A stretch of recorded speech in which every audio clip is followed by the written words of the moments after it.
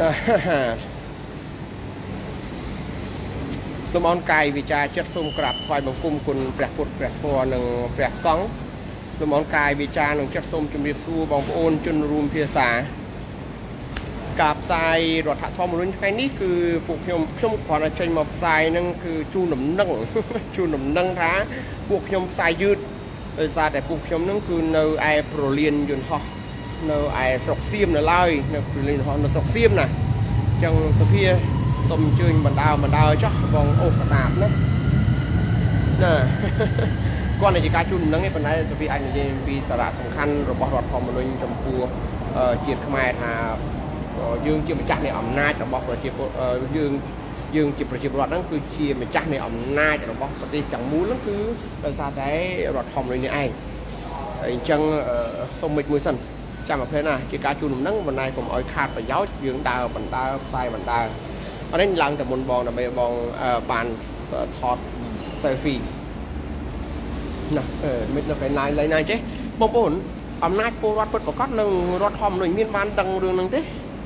អំណាចរបស់យើងណាបងប្អូនអំណាចរបស់យើងគឺនៅនឹងរដ្ឋធម្មនុញ្ញតែយើងអត់បានដឹងយើងបែរទៅជាយល់ច្រឡំថាអំណាចរបស់យើងនៅនឹងកន្លែងផ្សេងក៏មិនដឹងដែរណា នេះទៅវាតាមចោះហើយដាក់ជប់ជប់អត់ទាន់ដល់ទេដល់ហើយណាកាន់សិនកាន់ទៅខ្ញុំបងប្អូនអឺស្គាល់ពលានយន្តហោះរបស់សៀមនេះជួយដាក់ទៅជាការជូនដំណឹងទេណាប៉ុន្តែថាដល់អំណាចពលរដ្ឋអំណាចពលរដ្ឋរបស់ពលរដ្ឋនៅរដ្ឋធម្មនុញ្ញខ្លួនឯងតោះបងប្អូនជំនុំពិសាសូម ជំរាបសួរផងអ្វីដែលចូលរួមធ្វើការចែករំលែកនៅពេលនេះគឺពាក់ព័ន្ធជាមួយនឹងអំណាចរបស់ប្រជាពលរដ្ឋដែលមាននៅក្នុងរដ្ឋធម្មនុញ្ញសូមបញ្ជាក់ថាអំណាចរបស់ប្រជាពលរដ្ឋគឺនៅនឹងច្បាប់អំណាចរបស់ប្រជាពលរដ្ឋគឺមិនមែននៅនឹងបុគ្គលនឹងក្រុមបពពួក មិនមែនអំណាចបុគ្គលមិនមែនអំណាចរបស់ពលរដ្ឋនៅនឹងកំភ្លើងនៅនឹងមានបានសិនគឺអត់ទេគឺអំណាចរបស់ប្រជាពលរដ្ឋគឺមាននៅក្នុងច្បាប់រដ្ឋធម្មនុញ្ញរបស់ខ្មែរដែលរដ្ឋធម្មនុញ្ញនេះគឺជារដ្ឋធម្មនុញ្ញដែលកើតចេញពីកិច្ចព្រមព្រៀងសន្តិភាពទីក្រុងប៉ារី23ដុល្លារ1991ចុះនៅក្នុងចំណុចណាខ្លះតែ ជាការកំណត់អំពីអំណាចរបស់ប្រជាពលរដ្ឋនេះគឺគ្រប់ជំពូកនៃរដ្ឋធម្មនុញ្ញនឹងឯងគឺមានការកំណត់អំពីអំណាចរបស់ប្រជាពលរដ្ឋតែគ្រាន់តែនៅក្នុងជំពូកទី3គឺបានបញ្ជាក់ច្បាស់ជាងគេពីកាតព្វកិច្ចរបស់ប្រជាពលរដ្ឋក្នុងការចូលរួមការពារជាតិអឺ ចំណុចផ្សេងផ្សេងក៏មានបងប្អូនអាចមើលអាចអាចអាចអាចតាមដាននៅខ្លួនឯងនៅទីនោះអញ្ចឹងអ្វីដែលខ្ញុំសូមធ្វើការបញ្ជាក់ថាអំណាចរបស់ប្រជាពលរដ្ឋដែលមាននៅក្នុងច្បាប់រដ្ឋធម្មនុញ្ញទីមួយគឺយើងត្រូវតែដឹងថាពលរដ្ឋគឺជាអ្នកកំណត់នៅសំទោសពលរដ្ឋគឺជាអ្នកបោះឆ្នោតរើសមេដឹកនាំនយោបាយដើម្បីបង្កើតបានរដ្ឋធម្មនុញ្ញអញ្ចឹងរដ្ឋធម្មនុញ្ញនេះគឺបង្កើតដោយប្រជាពលរដ្ឋតាមរយៈ តំណាងរាស្ត្ររបស់ខ្លួនហើយបន្ទាប់មកទៀតពេលដែលបង្កើតរដ្ឋធម្មនុញ្ញបានហើយគឺរដ្ឋធម្មនុញ្ញនឹងគឺបានកំណត់ពីអំណាចរបស់ប្រជាពលរដ្ឋជាក់ស្ដែងនៅក្នុងជំពូកទី3ដែលនិយាយអំពីសិទ្ធិនិងករណីកិច្ចរបស់ប្រជាពលរដ្ឋខ្មែរនៅក្នុងការចូលរួមធ្វើនយោបាយការចូលរួមរើសមេដឹកនាំនយោបាយ ការមានសិទ្ធិសេដ្ឋកិច្ចការមានសិទ្ធិវប្បធម៌សិទ្ធិសង្គមធម៌នៅក្នុងជាតិប្រទេសជាតិរបស់ខ្លួនអញ្ចឹងសូមបញ្ជាក់ឡើងវិញថាអំណាចរបស់ប្រជាពលរដ្ឋមាននៅក្នុងរដ្ឋធម្មនុញ្ញដែលបងប្អូនអាចមើលបាននៅក្នុងជំពូកទី3អំពីសិទ្ធិនិងករណីកិច្ចរបស់ប្រជាពលរដ្ឋនឹងឃើញថាពលរដ្ឋអាចរើសមេដឹកនាំនយោបាយបាន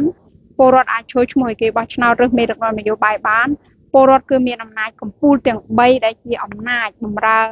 ឲ្យផលប្រយោជន៍ជាតិផលប្រយោជន៍របស់ប្រជាពលរដ្ឋបំរើឲ្យប្រយោជន៍ជាតិទាំងមូលគឺអំណាចនីតិបញ្ញត្តិអំណាចនីតិប្រតិបត្តិនិងអំណាចតុលាការជនរួមភាសាខ្ញុំសួរសំណួរ3ចាំមើលបងប្អូនជួយឆ្លើយបន្តិចណាហើយមើលទស្សនភាពនៅជុំវិញខ្ញុំដែរណានៅខាងក្រៅខ្នងដែលពួកយើងកំពុងតែរងចាំរថភ្លើងចេញពីទីក្រុងបាងកកទៅសវណ្ណភូមិដើម្បីឡើងយន្តហោះទៅវិញ ខ្ញុំសូមបញ្ជាក់នៅសំណួរទី1បងប្អូនជនរួមភាសាតើ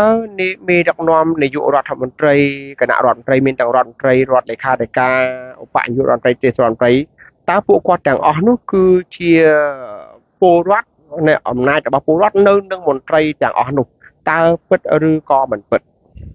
ម្ដងទៀតជំនុំភាសាតើអំណាចរបស់ប្រជាពលរដ្ឋខ្មែរនៅនឹង បុគ្គលដែលជាមេដឹកនាំដែលជានាយករដ្ឋមន្ត្រីជាបុគ្គលជាឧបនាយករដ្ឋមន្ត្រីជាទេសរដ្ឋមន្ត្រីរដ្ឋមន្ត្រីរដ្ឋលេខាធិការតើរឿងនេះពិតឬក៏មិនពិតណាបងប្អូនណាចង់រកពួកខ្ញុំរកមិនឃើញទេពីព្រោះថ្ងៃហ្នឹងគឺឥឡូវនេះវីដេអូនេះគឺជាវីដេអូថាជូនដំណឹងទេព្រោះនៅក្នុងឯរថភ្លើងមិនដឹងថាសេវាល្អប៉ុណ្ណាហើយបើសិនបើមនុស្សណែនពេកពួកខ្ញុំផ្សាយមិនកើតគឺពួកខ្ញុំនឹង នឹងអាចជាការធ្វើវីដេអូជូនដំណឹងហើយតែខ្ញុំមិនចង់ឲ្យខាតទេវីដេអូទាំងអស់ដែលថាចេញហើយនឹងមិនឲ្យខាតទេអញ្ចឹងសុខចិត្តឲ្យបងប្អូនបើថាយើងឡើងរថភ្លើងព្រឹបមនុស្សច្រើនគឺពួកខ្ញុំបិទអញ្ចឹងដូចជូនដំណឹងបងប្អូនថាដល់តែពួកខ្ញុំដល់ប្ររៀនយន្តហោះសវណ្ណភូមិ ប្ររៀនយន្តហោះសវណ្ណភូមិឈ្មោះអញ្ចឹងណាសវណ្ណយន្តហោះនៅស្រុកសៀមនេះឈ្មោះសវណ្ណភូមិគេដាក់ឈ្មោះគេសវណ្ណភូមិគេដាក់កម្ពុជាទេគេអត់ថាប្ររៀនយន្តហោះកម្ពុជាទេគេដាក់ប្ររៀនយន្តហោះសវណ្ណភូមិសវណ្ណភូមិហ្នឹងខ្មែរហ្នឹងគឺកម្ពុជាហ្នឹងណាណាអញ្ចឹងក៏លើកទី1បងប្អូនឆ្លើយបានហើយថាអំណាចរបស់ពលរដ្ឋមិនបានស្ថិតនៅនឹងមេដឹកនាំមន្ត្រីទេណាចុះអំទី2តើអំណាចរបស់ពលរដ្ឋស្ថិតនៅនឹងសមាជិកព្រឹទ្ធសភាសមាជិករដ្ឋសភាពិតឬក៏មិនពិត តើអំណាចរបស់យើងស្ថិតនៅនឹងបុគ្គលទាំងអស់តែជាមេដឹកនាំសភាជាតិពិតឬក៏មិនពិតជំនួនភាសាណារថភ្លើងគេមកដល់ហើយណាចឹងសភាជួយកាន់បន្តចុះមិនមើលខ្លួនឯងចឹងទៅណាពីកម្មមើលថាមនុស្សច្រើនបាត់ចុះនេះមិនបាត់ចុះបងប្អូនជនរួមភាសាបងគៀងហុងមិនពិតទេព្រោះអំណាចទាំងអស់គឺជារបស់ប្រជាពលរដ្ឋអញ្ចឹងឥឡូវខ្ញុំសូមធ្វើការបន្តបញ្ជាក់មានជាសំណួរមួយ នៅក្នុងការផ្សាយតើអំណាចប្រជាពលរដ្ឋសិតនៅលើអ្វីខ្លះណាបងសំណាងគឺអំណាចរបស់ប្រជាពលរដ្ឋអឺដែលបានចែងនៅក្នុងច្បាប់ច្បាប់ណាខ្លះដែលកំណត់អំណាចរបស់ប្រជាពលរដ្ឋហ្នឹងបងបាច់បន្តបញ្ជាក់មកបងខៀងហង គឺអំណាចទាំងអស់ជារបស់ប្រជាពលរដ្ឋដឹងថាអំណាចទាំងអស់ជារបស់ប្រជាពលរដ្ឋតើមានអំណាចខ្លះណាបងប្អូនជនភាសាអឺបងហេងហេងបងឈៀនសន្តិអញ្ចឹង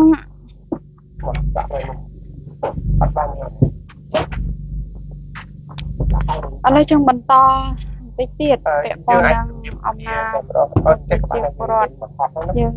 និយាយតិចតិចតោះអញ្ចឹងឥឡូវដាក់សំណួរឡើងវិញពាក់ព័ន្ធនឹងប្រធានបទអូខេខ្ញុំកាន់វិញ